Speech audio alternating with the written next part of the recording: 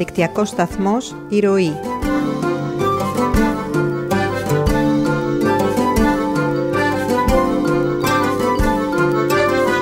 Συνεχής πηγή παροχή σκέψης. Η ροή της επαρχίας. Είναι η ενημερωτική εκπομπή που επιμελείται και παρουσιάζει ο Κώστας Σαβαράκης κάθε Δευτέρα, Τετάρτη και Παρασκευή από τις 6 έως τις 7 το απόγευμα. Ειδήσεις, συνεντεύξεις, σχόλια, αναλύσεις για θέματα που απασχολούν τις τοπικές κοινωνίες σε κάθε γωνιά της ελληνικής επαρχίας. Φίλε και φίλοι, καλησπέρα και καλή εβδομάδα. Μια εβδομάδα που αρχίζει με μια είδηση η οποία ε, δείχνει ξεκάθαρα ότι η θηλιά, ο κλειός ο, ε, της οικονομικής δεσπραγίας σφίγγει όλο ένα και περισσότερο για τους Έλληνες φορολογούμενους, για τα ελληνικά νοικοκυριά.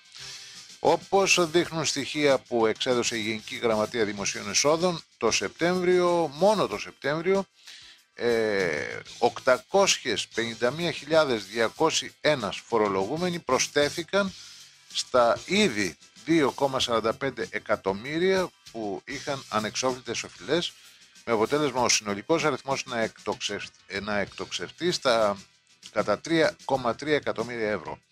Τα χρέη δηλαδή έφτασαν στα 68,4 δισεκατομμύρια ευρώ στο τέλος Σεπτεμβρίου.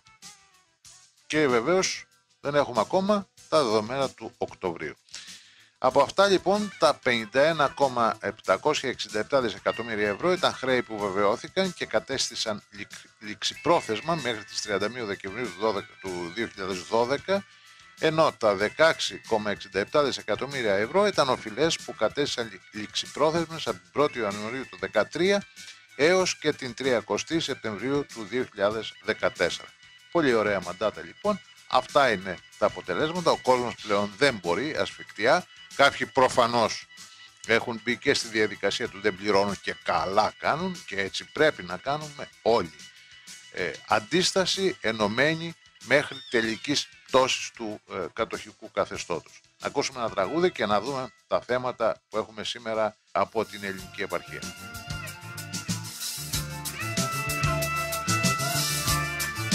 Είστε συνδεδεμένοι με τον διαδικτυακό ραδιοσταθμό ηρωή.gr ή pavlaroy.gr και παρακολουθείτε την εκπομπή «Η ροή της επαρχίας». Στο μικρόφωνο είναι ο Κώστας Σαβαράκης. Μπορείτε να επικοινωνείτε μαζί μας χρησιμοποιώντας τη διεύθυνση ηλεκτρονικού ταχυδρομείου «Η ροή της επαρχίας», μια λέξη, το αρχικό «η» με ε λατινικό, «Η ροή της επαρχίας» παπάκι gmail.com.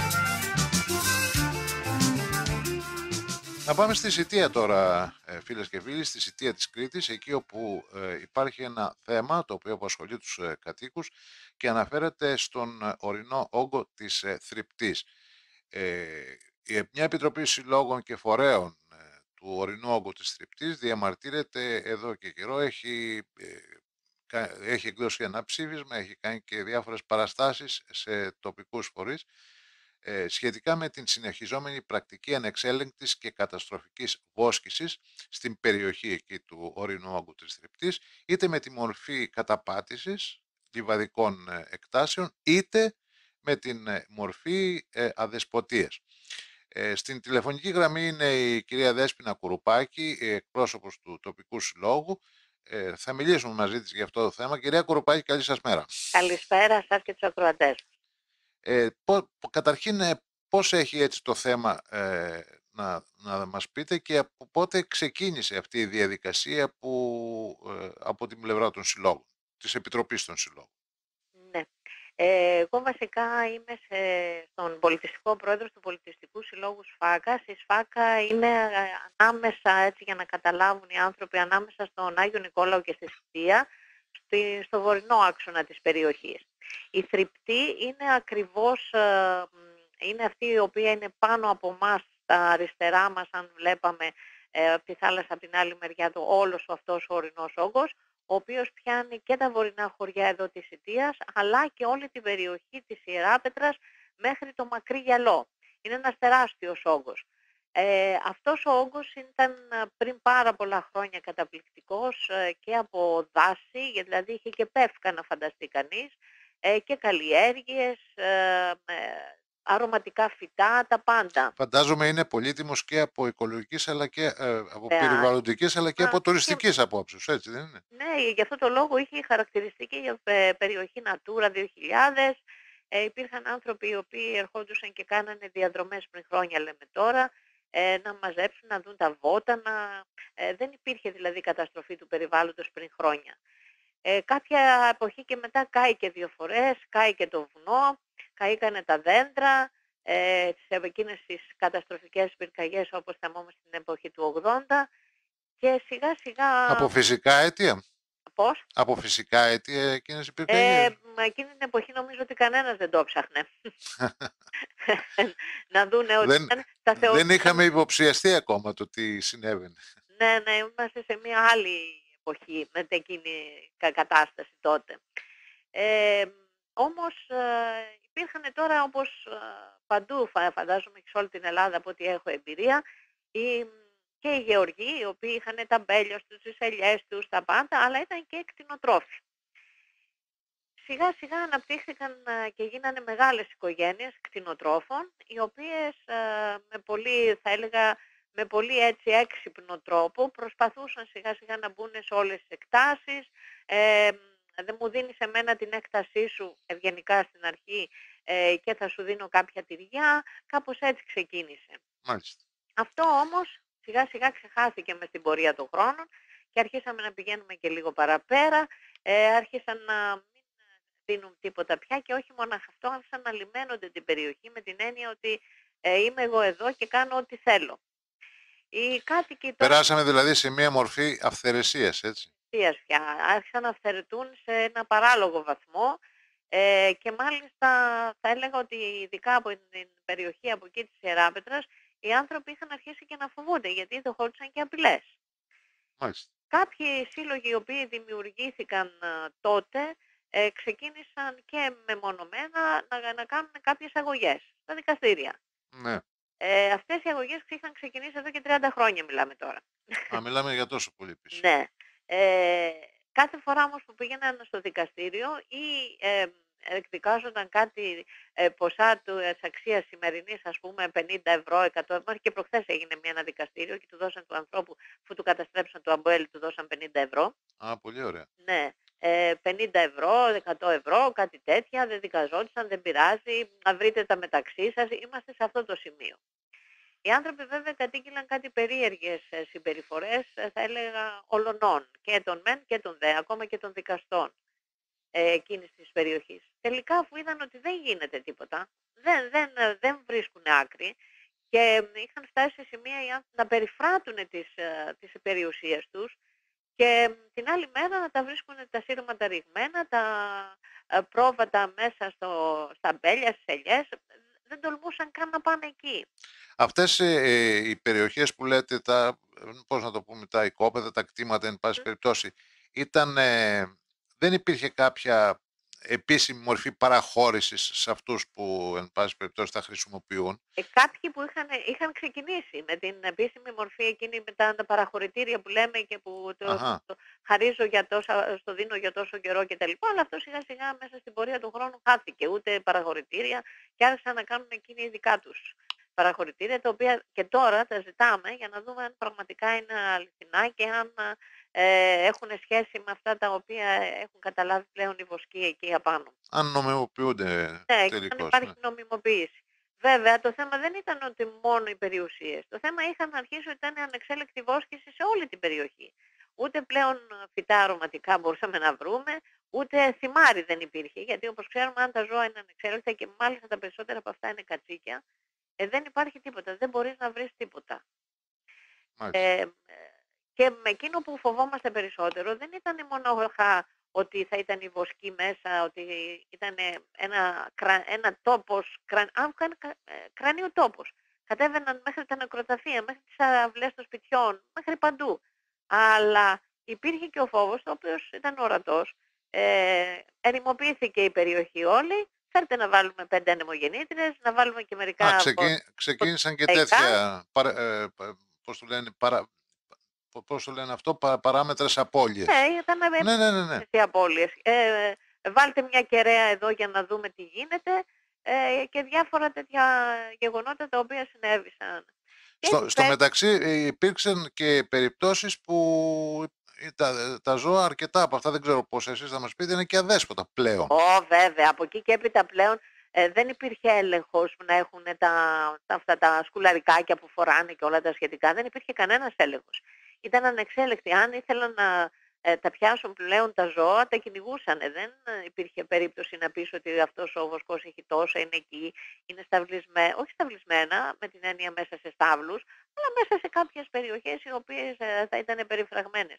Δεν υπήρχε τίποτα πια έγινε πλέον μια ανεξέλεκτη κατάσταση, η οποία φυσικά οδηγούσε οι άνθρωποι δεν ξέραν πια λαούν τι να κάνουν. Σου λέει δικαστήριο, τίποτα. Ε, τρομοκρατία από παντού, τι θα κάνουμε; Και Μα. έτσι ξεκίνησαμε από πέρυσι Ναι, ε, μια ομάδα ανθρώπων από εκεί και συλλόγων και διαφόρων γεωργών και τα λοιπά να κάνουν ε, κάποιες ομάδες για να δούμε τι θα κάνουμε. Κάναμε λοιπόν πέρυσι ένα συνέδριο, γι' αυτό ακριβώς το λόγο για τη βιώσιμη ανάπτυξη της τριπτής, ε, που συμμετείχε και η περιβαλλοντολογική εκπαίδευση εκεί της Ιεράπετρας που βοήθησαν πάρα πολύ σε αυτό και εκεί φάνηκαν πλέον όλα τα προβλήματα.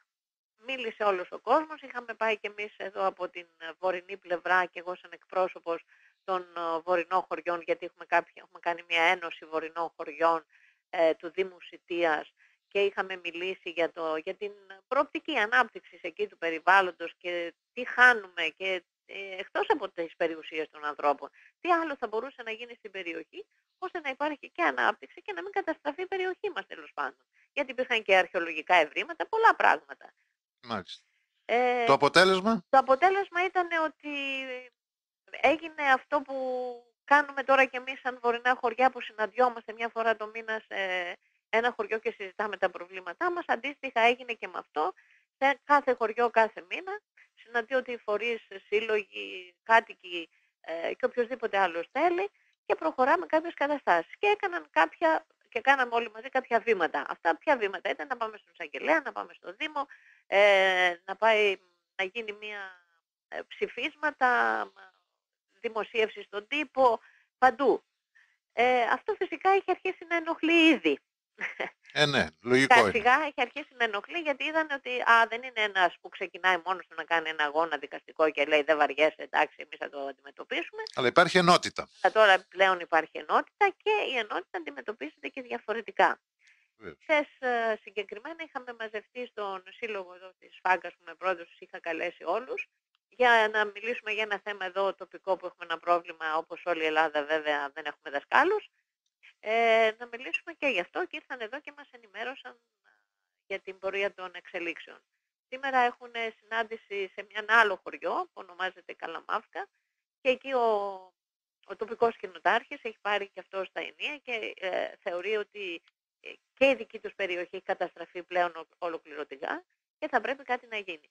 Εάν α, τώρα μέσα από, θα έλεγα, τι να πω τώρα, από τα, τους αρμόδιους φορείς τέλος πάντων, δεν βρούμε άκρη, θα αναλάβουμε δρα- θα- διαφορετικές δράσεις, οι Μάλιστα. οποίες θα τις δούμε και εμείς και θα τις συζητήσουμε πώς θα το κάνουμε.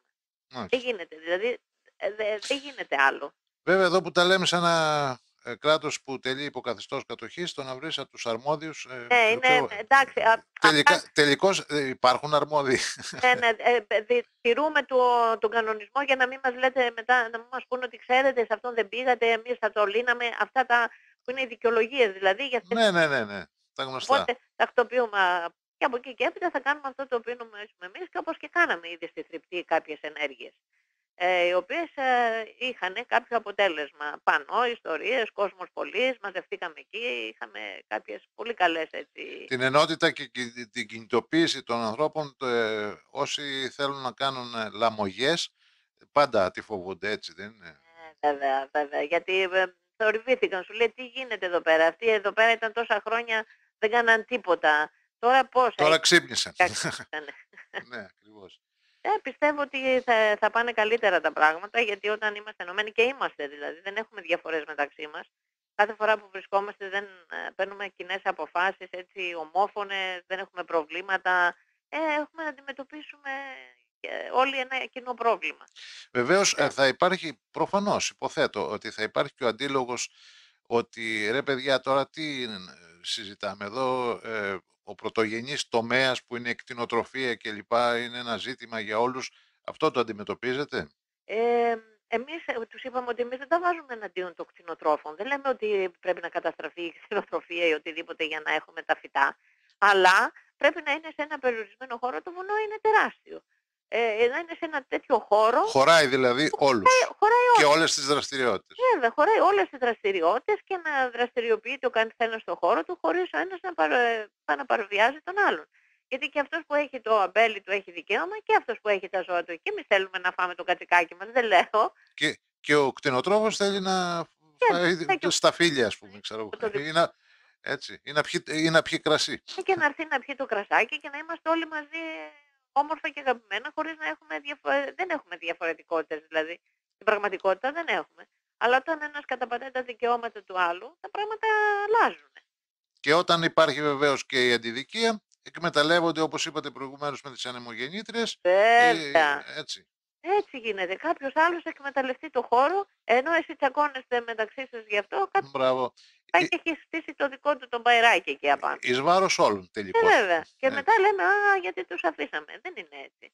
Πρέπει να έχουμε τα μάτια μας ανοιχτά από παντού. Διότι ε, στο πλαίσιο της εκπομπής ε, είχαμε επικοινωνήσει και με κτηνοτρόφους ε, των Χανίων του Ηρακλείου, οι οποίοι έχουν πρόβλημα με τις ΒΑΠΕ, έτσι. Ναι, Ε, βέβαια. έχουν τεράστιο πρόβλημα με τις ΒΑΠΕ και κινητοποιούνται σε όλη τη, την Κρήτη. Άρα λοιπόν είναι ένα ζήτημα που πρέπει να το δουν οι κτηνοτρόφοι αυτό που λέμε τώρα.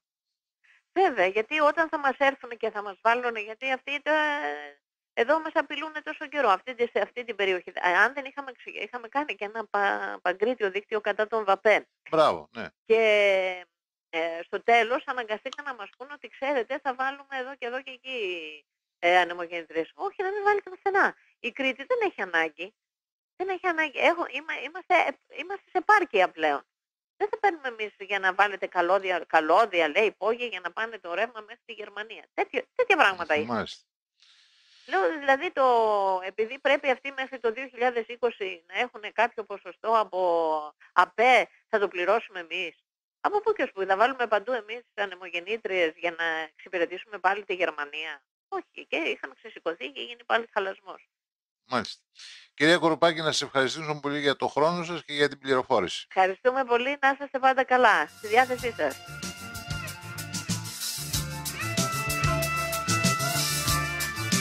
Είστε συνδεδεμένοι με τον διαδικτυακό ραδιοσταθμό ηρωή.gr ή pavlaroy.gr και παρακολουθείτε την εκπομπή «Η ροή της επαρχίας». Στο μικρόφωνο είναι ο Κώστας Σαβαράκης. Μπορείτε να επικοινωνείτε μαζί μας χρησιμοποιώντας τη διεύθυνση ηλεκτρονικού ταχυδρομείου «Η ροή της επαρχίας», μια λέξη, το αρχικό «η» με ε λατινικό, «Η ροή της επαρχίας» παπάκι gmail.com. Έντονος προβληματισμός και αναστάτωση επικρατεί στον κλάδο των ιδιοκτητών ταξί στην Κρήτη, φίλες και φίλοι. Αφορμή είναι οι πληροφορίες για πιθανή έλευση μιας γερμανικής εταιρείας που σκοπεύει να επενδύσει σε αυτόν τον κλάδο. Μέχρι στιγμής είναι διεστάμενες οι απόψεις και οι πληροφορίες ό,τι αφορά το α, ποια θα είναι η αφετηρία, θα ξεκι... από ποια πόλη δηλαδή θα ε, ξεκινήσει όλη αυτή η διαδικασία, από τα Χανιά ή από το Ηράκλειο. Εν πάση περιπτώσει αυτό έχει τη λιγότερη σημασία. Σημασία έχει ότι ε, επί της ουσίας ανοίγει ο δρόμος για την ει- ειδική οικονομική ζώνη. Θυμάστε τον κύριο Πάνο Καμένο που ε, σε συνέντευξή του ε, στον ε, κύριο Γιώργο Σαχίνη, τον συνάδελφο, είχε πει ότι καλό θα ήταν εδώ στην Κρήτη να γίνει η Κρήτη να γίνει μια ειδική οικονομική ζώνη με ειδικό φορολογικό καθεστώς 5% και ούτω καθεξής και όλα αυτά τα ωραία που μας έλεγε τότε ο αρχηγός των ε, ανεξάρτητων Ελλήνων. Σε ό,τι αφορά τώρα το θέμα του ταξί, το σωματείο βεβαίως εμφανίζεται ε, καταρχήν αρκετά καθησυχαστικό σε σχέση με την έκβαση της υπόθεσης, συγκεκριμένα σύμφωνα με τα sites ε, της περιοχής, Ο πρόεδρος του Σωματείου των ε, Ταξιτζίδων, κ. Στέφανος Σμυρνιωτάκης, υποστηρίζει πως είναι πάρα πολύ δύσκολο να καταφέρει τελικά να έρθει και να δραστηριοποιηθεί ε, αυτή η γερμανική εταιρεία. Άλλες πληροφορίες λένε ότι ήδη έχει αρχίσει η διερεύνηση της αγοράς για πρόσληψη οδηγών. Ξέρετε, οδηγών των 300-400 ευρώ και όλα αυτά τα ωραία. Και αυτό αποτελεί βεβαίως ε, καταστροφή για τον κλάδο των ιδιοκτητών, των ιδιοκτητών ε, ταξί. Εφόσον το σενάριο τελικά δεν σκοντάψει πουθενά και η εταιρεία καταφέρει να ξεπεράσει όλους ε, τους σκοπέλους που δεν της επιτρέπουν τη δραστηριοποίησή της, τότε αυτό θα σημαίνει την ολοκληρωτική καταστροφή του κλάδου. Αυτό λέγεται έτσι στην ε, πιάτσα, να το πούμε έτσι. Ε, βεβαίως, έτσι είναι. Σε, σε μια χώρα που τελεί υποκαθεστώς κατοχής, όλα μπορούν να συμβούν. Μα όλα.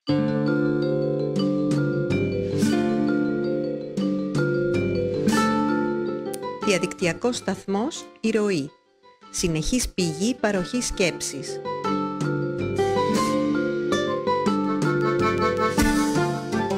Ειδησιογραφία, πολιτικός σχολιασμός, ψυχαγωγία, επιμόρφωση.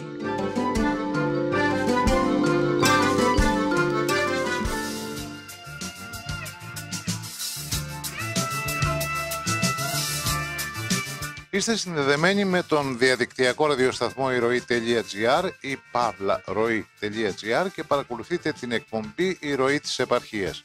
Στο μικρόφωνο είναι ο Κώστας Σαβαράκης. Μπορείτε να επικοινωνείτε μαζί μας χρησιμοποιώντας τη διεύθυνση ηλεκτρονικού ταχυδρομείου «Η ροή της επαρχίας», μια λέξη, το αρχικό «η» με ε λατινικό, «Η ροή της επαρχίας» παπάκι gmail.com. Να πάμε τώρα φίλες και φίλοι μέχρι την Σαντορίνη, εκεί όπου προημερών επισκέφθηκε το νησί ο γιος του Γάλλου ωκεανογράφου του Ζακ Ιβκουστό. Τον θυμόμαστε όλοι τον Ζακ Ιβκουστό από την νεαρή μας ηλικία, τότε που βλέπουμε τα καταπληκτικά εκείνα ντοκιμαντέρ που είχαν ε, σχέση με την ε, ζωή και τον ε, θαλάσσιο πλούτο. Ε, ο κύριος Κουστό ήρθε για να λάβει μέρος στην διημερίδα με θέμα η θαλάσσια προστατευόμενη περιοχή της Σαντορίνης τα επόμενα βήματα. Αυτός ήταν έτσι ο τίτλος αυτής της ε, εκδήλωσης.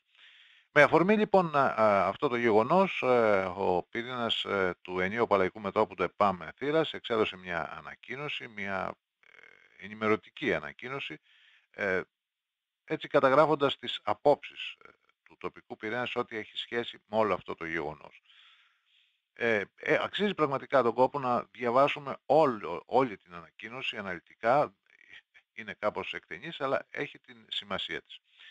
Σύμφωνα λοιπόν με το Επαμφύρας, στόχος αυτής της διημερίδας ήταν να συζητηθεί η μεθοδευμένη εδώ και καιρό προσπάθεια δημιουργίας θαλάσσιου πάρκου στην περιοχή εσωτερικά της Καλτέρας και να πιστούν ε, οι φορείς του νησιού.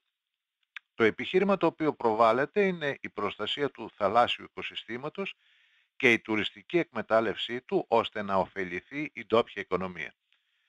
Ποιος άλλος δεν μπορεί να διαφωνήσει με μια τέτοια τοποθέτηση. Η κατάσταση ωστόσο, επισημαίνει το επάμθυρας, είναι αρκετά διαφορετική από αυτή που κάποιοι επιθυμούν να παρουσιαστεί. Αρχικά θα θέλαμε να αναφέρουμε ότι σύμφωνα με τον κύριο Κουστό, Μάρτιος του 2014 συνέντευξη στον Θέμη Καπετσόνη στο zoogla.gr, το πάρκο θα γίνει αρχικά σε ένα μήκος περίπου 300 μέτρων. Αυτή η έκταση λέει το επάμθυρας, μας φαίνεται πολύ μικρή αν πραγματικά ήθελαν κάποιοι να φτιάξουν θαλάσσιο πάρκο και όχι απλώς να εκμεταλλευτούν τον πλούτο του νησιού μας για να βγάλουν χρήματα.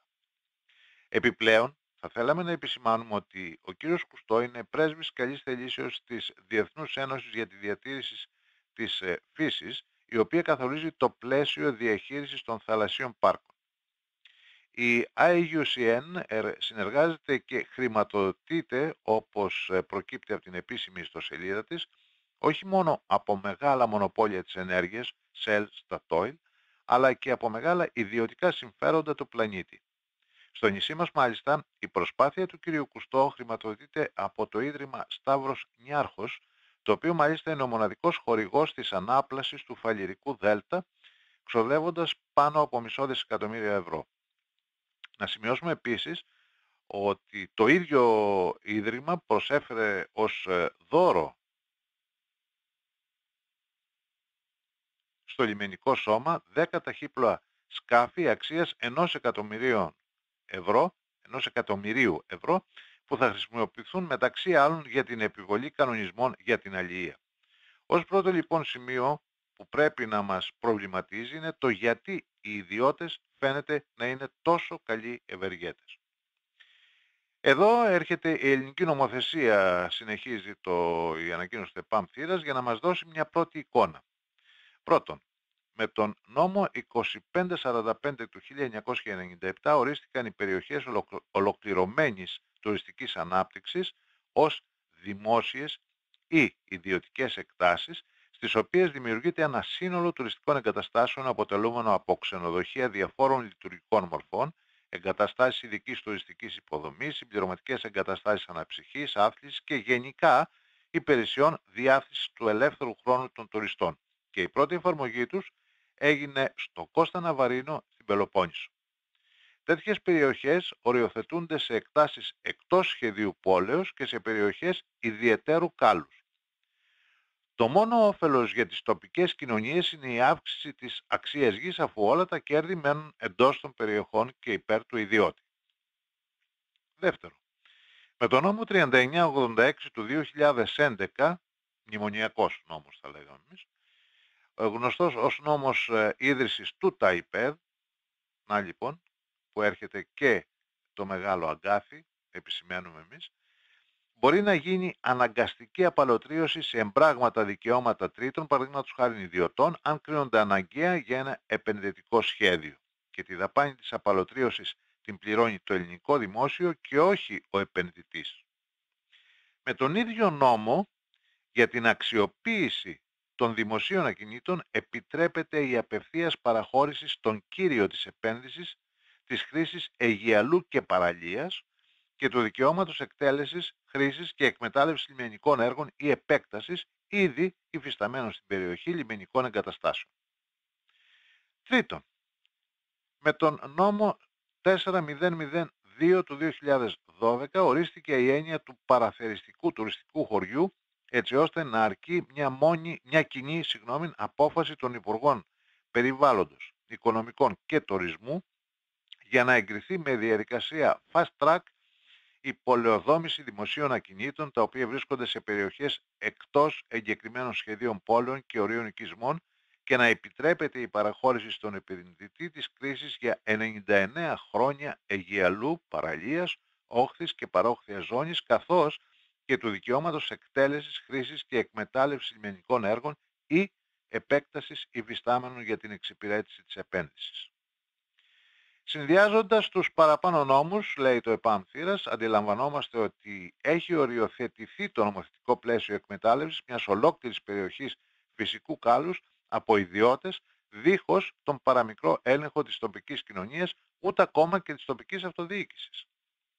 Να συμπληρώσουμε τώρα το παζλ αναφέροντας ότι σύμφωνα με την κοινή αλλιευτική πολιτική της Ευρωπαϊκής Ένωσης, τα κράτη-μέλη υποχρεώνονται να ιδρύσουν θαλάσσια πάρκα για την προστασία της Ποσειδονίας, τα γνωστά μας φύκια, και καθώς τα φύκια αποτελούν αποδοτική πρώτη ύλη για την παραγωγή βιοκαυσίμων, ο έλεγχος των εν λόγω παραθαλάσσιων πάρκων αποτελεί σημαντικό πεδίο δράσης των μονοπωλίων της ενέργειας. Ολοκληρώνοντας, για να δείξουμε το πόσο διαφορετική είναι η τελική εικόνα, λέει το ΕΠΑΜΘΙΡΑΣ, θα αναφέρουμε παραδείγματα θαλάσσιων πάρκων σε άλλες περιοχές χώρας μας. Στο θαλάσσιο πάρκο Ζακίνθου, σύμφωνα με ανακοίνωση του Συλλόγου για την προστασία της θαλάσσιας χελώνας, αρχελών το 2013, η προστατευόμενη περιοχή έχει αφαιθεί βορρά αφενός στα επιχειρηματικά μικροσυμφέροντα αυτών που οραματίζονται επενδύσεις χωρίς σχεδιασμό και έλεγχο, με οποιοδήποτε κόστος στο φυσικό περιβάλλον και αφετέρου στην επιθυμία τοπικών παραγόντων για γρήγορο πλουτισμό αδιαφορώντας για το πραγματικό συμφέρον της τοπικής κοινωνίας. Παρατηρήθηκε επίσης το φαινόμενο να απαγορεύεται η προσέγγιση στα νησιά στροφάδες με την, ότι... Συγγνώμη, με την αιτιολογία ότι απαιτείται ειδική άδεια. Στο θαλάσσιο πάρκο Αλονίσου, στην περιοχή των Βορείων Σποράδων, το 2010 υπήρξαν καταγγελίες από τον πρώην Δήμαρχο ότι η μη κυβερνητική οργάνωση που είναι ΜΟΜ, που είναι βασικό μέρος του φορέα διαχείρισης, ενώ λάμβανε εκατομμύρια από εθνικούς και κοινοτικούς πόρους, ωστόσο ε, το επιστημονικό και ερευνητικό έργο ήταν αδύναμο, κατηγορώντας επίσης για περίεργες συναλλαγές με κομματικά ταμεία. Δηλαδή, θαλάσσια πάρκα υπάρχουν στην Ελλάδα, αλλά απέχουν πολύ από την προστασία του πλούτου της χώρας μας. Εμείς, ως μέλη του ΕΠΑΜ Θήρας, αναφέρεται στην ανακοίνωση, πιστεύουμε ότι η προστασία της θάλασσας της Σαντορίνης πρέπει να είναι πρωταρχικό μέλημα της πολιτείας με τη συνεργασία και συμμετοχή των κατοίκων. Γι' αυτό το λόγο η πρώτη κίνηση που θα έπρεπε ήδη να έχει γίνει από το 2007 είναι η ανέλκυση του Sea Diamond και ο καθαρισμός της, θάλα... της θαλάσσιας περιοχής της Καλντέρας από τα απομεινάρια του. Η δεύτερη κίνηση θα ήταν η απαγόρευση ή τουλάχιστον ο άμεσος περιορισμός των μεγάλων αλλιευτικών σκαφών που οργώνουν τις ελληνικές θάλασσες αποδεκατίζοντας τα ψάρια μας. Επιπλέον, η όποια ίδρυση θαλάσσιου πάρκου θα πρέπει να τελέσει υπό την ε, έγκριση του Δήμου και της τοπικής κοινωνίας. Καλούμε λοιπόν το Δημοτικό Συμβούλιο Θήρας να ερευνήσει το αν είναι αναγκαίο το θαλάσσιο πάρκο και υπό ποιες προϋποθέσεις. Να το επισημάνουμε ότι σε άλλες περιοχές, όπως παραδείγματος χάρη στην Κίμολο, οι κάτοικοι είπαν όχι στην ίδρυση του πάρκου που δεσμεύει τη γη και τη θάλασσά τους. Να το επισημάνουμε επίσης ότι η ίδρυση θαλάσσιου πάρκου εσωτερικά της καλτέρας θα αναγκάσει τον περιορισμό της διέλευσης σκαφών και πλοίων, άρα και θα οδηγήσει σε πιθανό περιορισμό της κουραζιέρας. Καλούμε τους αλλοίς της Σαντορίνης να μην υποκύψουν σε υποσχέσεις και να ζητήσουν ενεργό ρόλο στην όποια προσπάθεια για εκμετάλλευση του θαλάσσιου πλούτου και του νησιού μας, ενημερώνοντας παράλληλα τους πολίτες. Ο κύριος Κουστό ίσως και να έχει τις καλύτερες των προθέσεων, αλλά είμαστε βέβαιοι ότι αρκετοί επενδυτές αρπακτικά με τη συνεργασία των κυβερνήσεων των τελευταίων τεσσάρων χρόνων έχουν άλλα σχέδια. Δεν θέλουν τον τουρισμό ως προστιθέμενη αξία για τις τοπικές κοινωνίες. Θέλουν να παραδώσουν τον έλεγχο σε ιδιωτικά συμφέροντα που θα λαιλατίσουν αυτόν τον τόπο με σκοπό το πρόσκαιρο κέρδος. Μην ξεχνάμε άλλωστε ότι οι κυβερνήσεις Πασόκ, Νέας Δημοκρατίας, Λαός, Δημάρ παρέδωσαν τον Μάιο του 2010 και τον Φεβρουάριο του 2012 με την ψήφιση των δύο δανειακών συμβάσεων την εθνική κυριαρχία της πατρίδας μας και έβαλαν υποθήκη όλη τη δημόσια και ιδιωτική περιουσία των Ελλήνων. Οι βουλευτές που ψήφισαν τις παραπάνω συμβάσεις πρέπει να δικαστούν για σφετερισμό λαϊκής εξουσίας και για εσχάτη προδοσία σύμφωνα με το άρθρο 124 παράγραφος 3 του Συντάγματος των Ελλήνων και το άρθρο 134 του ποινικού κώδικα. Και η ανακοίνωση του ΕΠΑΜΘΙΡΑΣ καταλήγει ως εξής. Οι Έλληνες δεν πρέπει να έχουμε κανένα ίχνος εμπιστοσύνης στο υποκατάρρευση σάπιο πολιτικό σύστημα γιατί έχει αποδείξει ότι έχει επιλέξει να σώσει τους ιδιώτες κερδοσκόπους και τους τοκογλύφους τραπεζίτες και όχι τον ελληνικό λαό.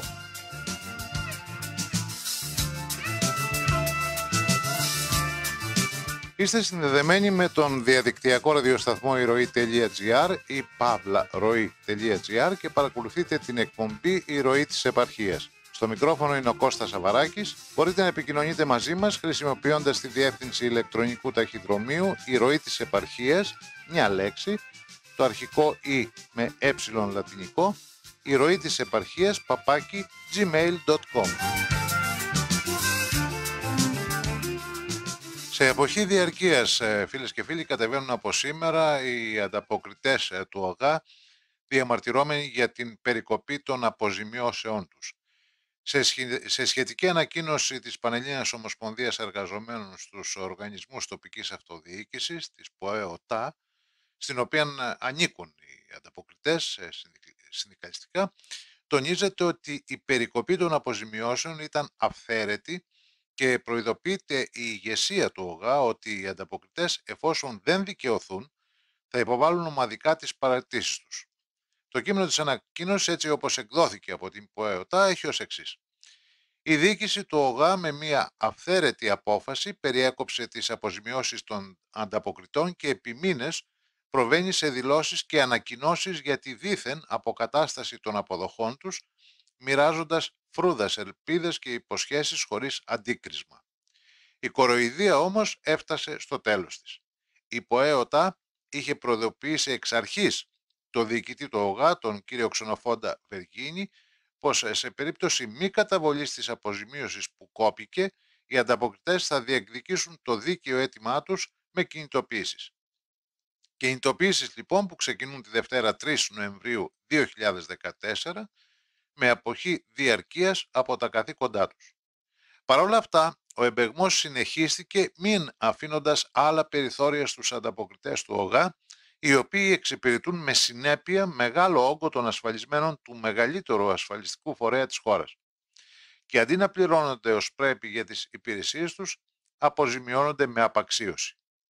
Η ΠΟΕΟΤΑ καλεί τη διοίκηση του ΟΓΑ να προχωρήσει άμεσα στη διευθέτηση του προβλήματος.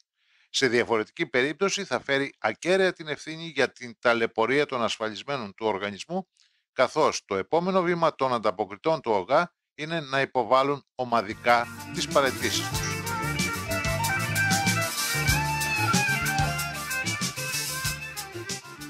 Και πριν κλείσουμε την εκπομπή μας φίλες και φίλοι, να σας θυμίσουμε ότι μετά, μεθαύριο, Τετάρτη, έχουμε όλοι ένα καθήκον. Να συμμετάσχουμε στο μεγάλο κίνημα που πάει να δημιουργηθεί σε ολόκληρη τη χώρα. Στο να, σε αυτό το κίνημα που θα γίνει τσουνάμι.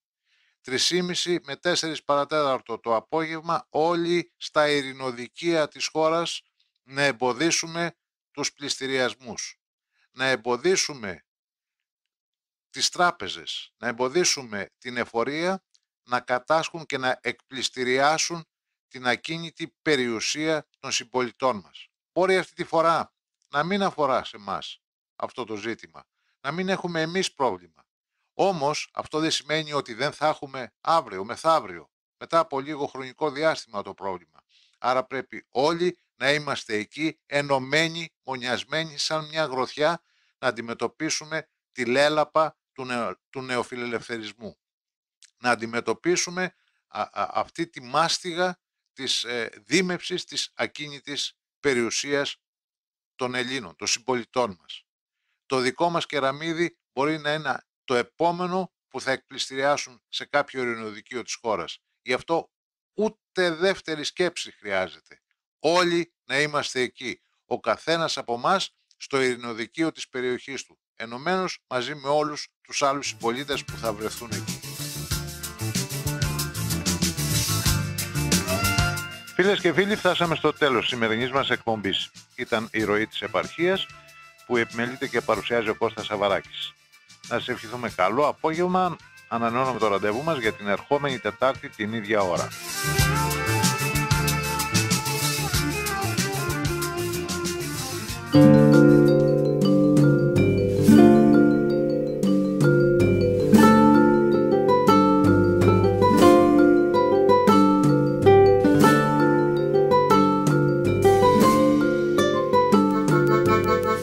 Διαδικτυακός σταθμός «Η Ροή».